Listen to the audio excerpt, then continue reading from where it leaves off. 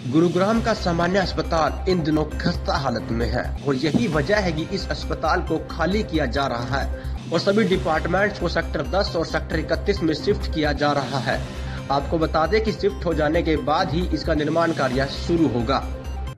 तो नए बनाने के लिए डेफिनेटली इसको खाली करना पड़ा हमें और आहिस्ता आहिस्ता हम दूसरे जो हमारी हेल्थ फैसिलिटीज़ हैं, उनके अंदर इसको शिफ्ट कर रहे हैं।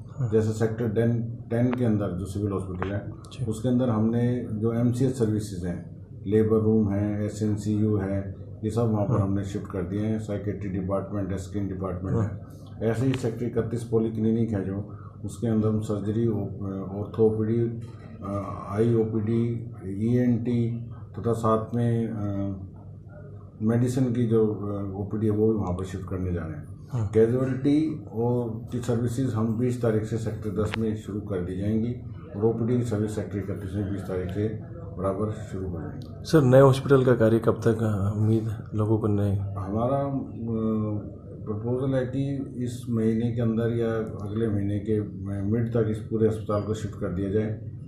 उसके बाद से हम अपना प्रपोजल बना के जो भी सर्विसेज़ यहाँ पर हमें चाहिए उसका बनाकर भेजेंगे।